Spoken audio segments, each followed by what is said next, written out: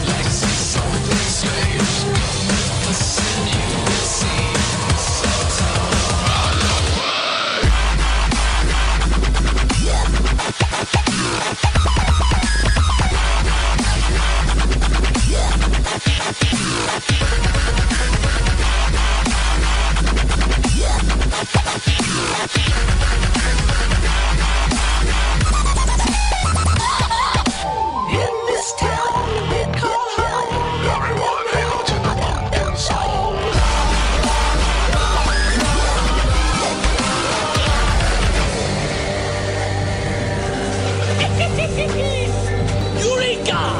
This year, Christmas will